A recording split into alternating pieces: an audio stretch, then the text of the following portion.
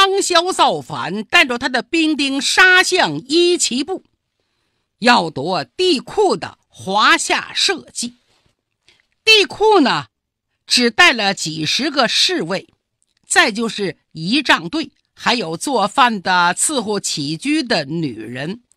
伊奇部啊，也就有青壮年小伙子五百人拿今天来说，都是民兵。这伙人组织一起，根本不是康萧的对手。在这危急时刻，各个部落族长吓得都准备逃走。还多亏大祭司女丑足智多谋，他说：“大家别慌，我们有办法。我们用战车可以打败他们的强兵，但是打造战车得十天的功夫。想办法派人。”阻击康萧的军卒别往前进，叫他们在半道上等我们十天。我们打造完战车再和他交战。地库都要哭了，怎么能够阻止康萧在半路等我们十天呢？女丑说：“有人能办到啊，谁呀？就是我徒弟庆都。”庆都跟我学了十多年，文武全才，由他做总指挥，准能够阻止康萧的敌兵。好啊，地库点头答应，把总指挥这个权力就交给了庆都了。庆都知道他师傅的意图，接到命令之后，第一支令就派他的师傅去打造战车。你负责技术工作，又怕他师傅岁数大了太辛苦，精气神不到，又派两个得力的助手，谁呀？就是他的两个叔叔一雄一虎。青都说：“二位叔叔，你们是本地人，熟悉情况，谁擅长伐木，谁擅长做木工，你们那心里都有数。你们俩负责组织、协调、监督、打造车辆。”由我师傅监管技术，二十辆战车，如果在十天之内完不成，你们俩可一并治罪。说着，扔下一只鸡毛令。哎哎哎，俩接过令箭，挺高兴，心说：嗯，我这个侄女儿真行，懂得号令用人，排兵布阵，有大将之才。好，叔叔。支持你，遵令。庆都又拿起一支鸡毛令，大狼二虎听令。呀，大狼二虎一想，还有我们俩事儿啊，赶紧过来。再有，你们两人率领我部所有会烧木炭的人，立刻伐木烧炭。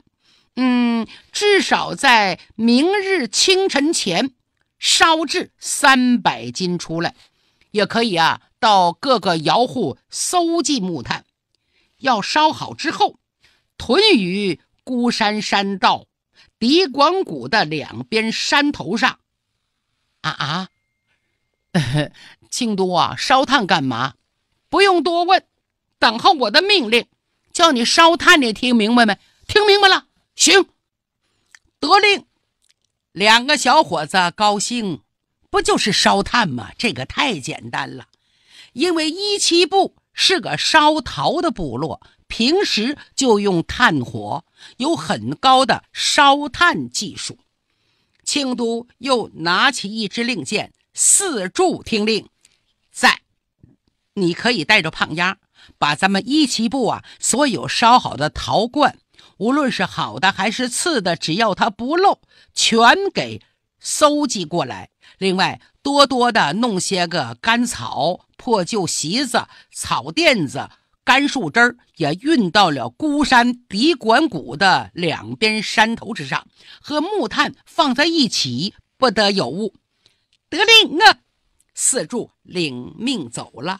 庆都又拿出一只鸡毛令，地库听令。呃啊！地库一听还有我的事儿啊，赶紧整整衣裳，出列失礼，在陛下。你要亲自出战，但是这一仗许打败，不许打胜。啊！帝库一咧嘴，心的话叫我打败仗，那还打个什么劲儿？干脆别打了，就败了呗。可是又不好那么说，低声问：“呃，青都啊，我没太明白，这败仗怎么打呀？”哦，陛下，明天一早你乘坐辇车，带着所有的护卫，从狄广谷出孤山，迎战共工。记住了。只许败，不许胜。败了有功，要是胜了，必将责罚。啊啊！帝喾没说话，众人一听就议论开了。呀呀呀！这什么打法呀？让陛下亲自冒险？只许败，不许胜。哎呦，这这这这能行吗？庆都把脸一沉，不许喧哗。哎哎，大家一听，赶紧把嘴闭上了。帝喾明白庆都的用意，哦，是拿我当诱饵啊！行啊，他恭恭敬敬接过令箭，喾，接令，退到一旁。庆都又拿出一支令箭，皋父听令。皋父一机灵，怎么最近的心情特别不好？非常郁闷，怎么那么郁闷呢？他眼睁睁看着心爱的女人庆都被帝喾娶走了，能痛快吗？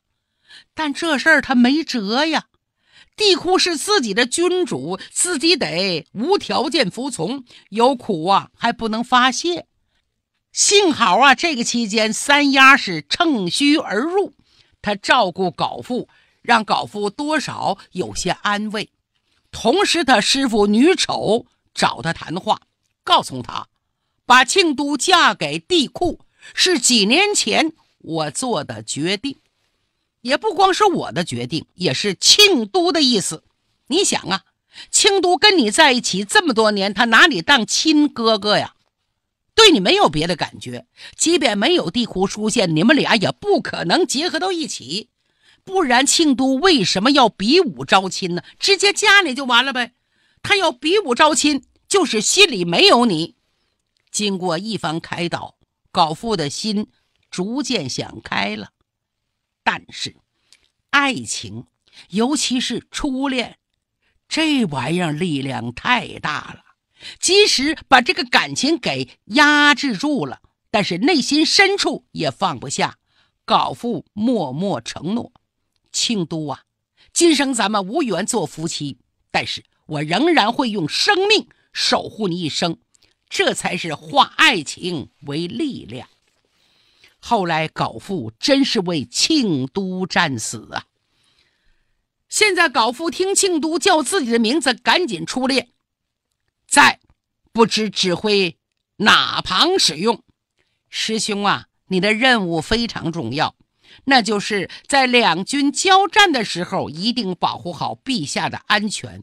杀贼抗敌与你关系不大，哪怕你杀敌一千，陛下若有半点损失，本指挥定斩不饶。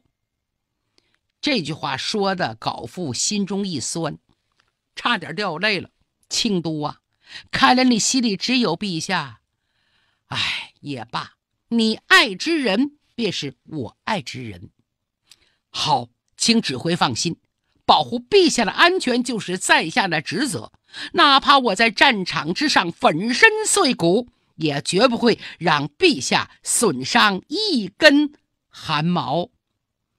最后这两句话说的多少有些悲壮色彩。庆都明白不？庆都多聪明啊，明白。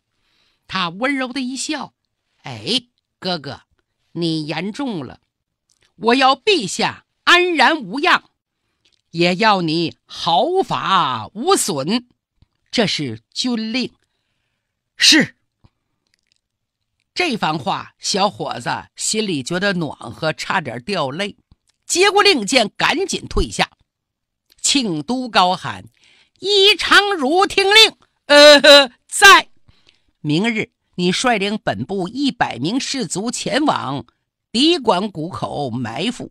发现陛下将敌兵引进谷内，你把陛下放过，然后你带人杀出御敌，依旧是只许败不许胜。是。曲逆族长和阿坤听令，在在。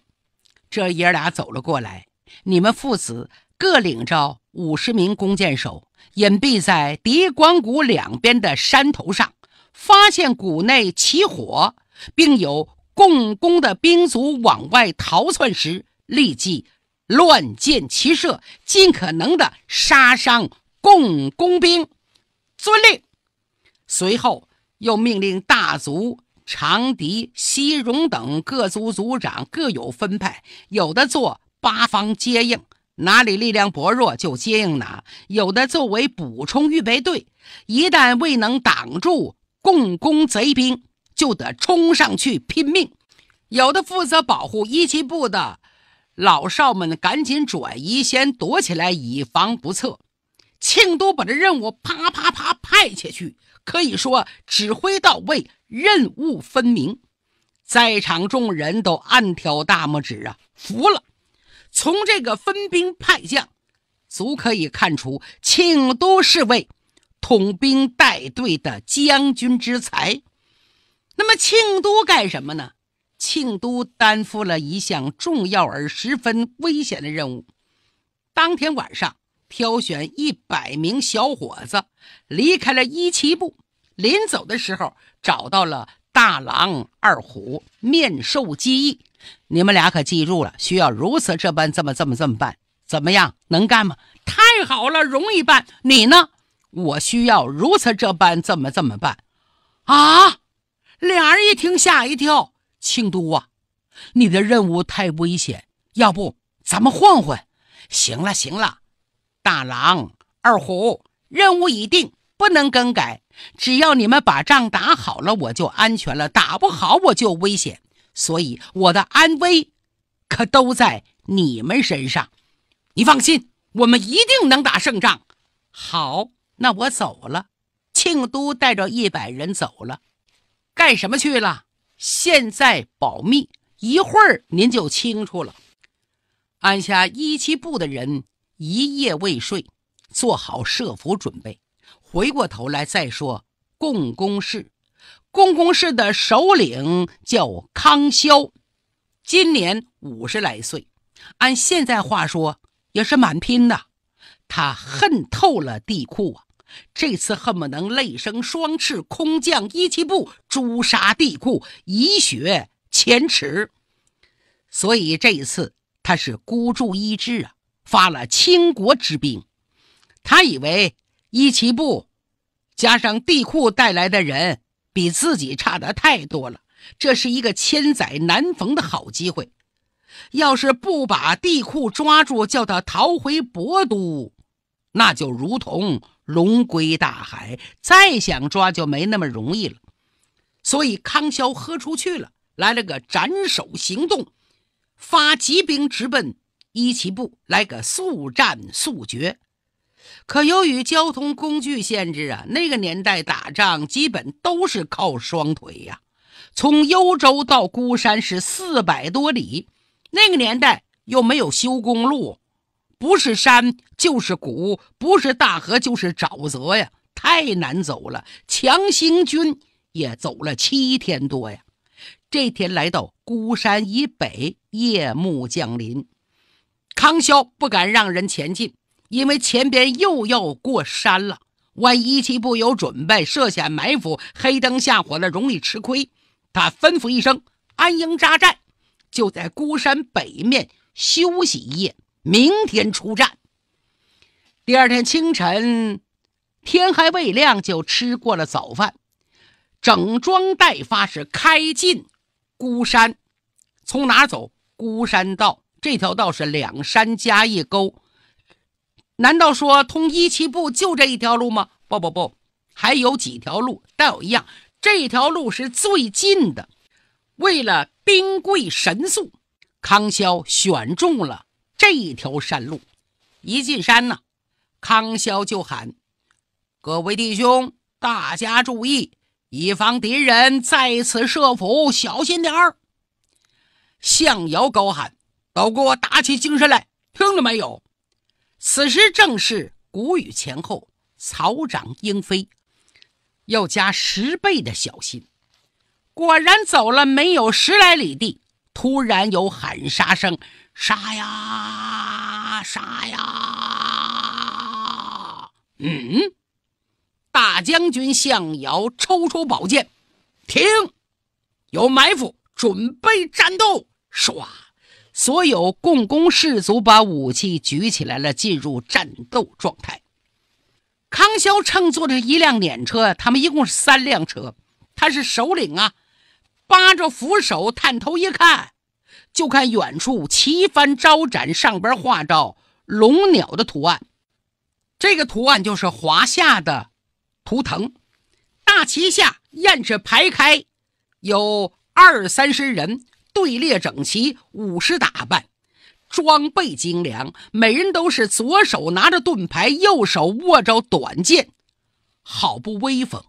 中间。一辆居辇上有华盖流苏倒挂，车上端坐一个人，四十来岁，面白如玉，三绺短须。康萧一看认识，非是旁人，正是仇敌华夏国国君、天下共主帝喾。嘿，我找的就是你，这可真是仇人见面分外眼红啊！康萧扯着嗓子喊：“哎！”对面坐车的可是姬俊吗？姬俊是谁呀？是帝喾的名字。康萧现在是铁了心造反，连尊号都不叫了。帝喾也不在乎，命人赶着车往前又走了几步，拉近了距离。不错，康萧，多年未见，看来这的眼神还不错，还没见老。哼哼。你没死，我不敢老。康萧啊，你离得太远了，说话不方便。能不能把车再往前拉几步？咱们走近了说话。呃，这康萧听完，眼珠滴溜溜转了转，往前边路上瞧了瞧，心想：地库叫我往前去，前面地上是不是挖坑了？盖上浮土和草皮子。挖了陷阱，我车往前一动，咵嚓，在掉沟里。嘿嘿，我才不上当呢！想这一阵冷笑。姬俊呐，哼，咱俩没什么好说的。你爹把我们共工人赶到幽州，像奴隶一样派人看管，我们受不了。咱们两个没什么说的，咱们是。一天二地之仇，三江四海之恨，今天一并跟你算清。弟兄们，前边车上之人便是地库积俊，谁要抓住他，赏活羊五百只，奴隶五十人，美女二十名，官封大将军，给我冲啊！一声令下。两千多共工兵，一个个头戴牛角，身披肩甲，手持武器，像下山猛虎一般的冲下去。噔噔噔噔噔噔噔噔噔，杀呀杀呀！地库一看，康萧是铁了心造反呐，根本不容自己规劝。他叹了口气，摆手，驾车人赶紧调转车子，嘎吱吱吱吱吱吱吱。干嘛往回跑？他跑后头去了。地库的卫队手持盾牌，拿着短剑冲上来迎战共工军。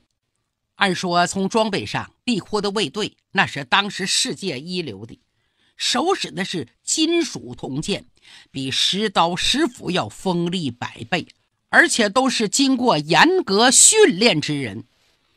顿时和。叛军打在一起，可是真动起手来，华夏卫兵不行了。为什么呢？造反的共工兵啊，太彪悍了，而且带着牛角，身带着皮铠呀，手舞石刀石斧，杀伐骁勇。那位说了，华夏兵不是金属铜剑比他锋利吗？哎，在冷兵器时代啊。铜剑属于锐器，锐利是锐利，一是短，不好靠近，除非是一剑刺中对方的要害，不然对方被你扎了十箭，他还能战斗。可是敌方要是用石刀石斧砸你一下子，立刻骨断筋折，马上失去战斗力。华夏卫兵开始还可以凭借铜剑锋利砍杀敌军，到后来架不住了，人家人多往前拥啊，而且这石刀石斧都长，你的铜剑够不着人家，他们只好用盾牌抵挡石刀石斧。地库站在车上，远远看着，急坏了，高喊了一声：“敌军太厉害了，快撤，快撤！”喊完之后，命令驾车的卫兵：“快，快跑！”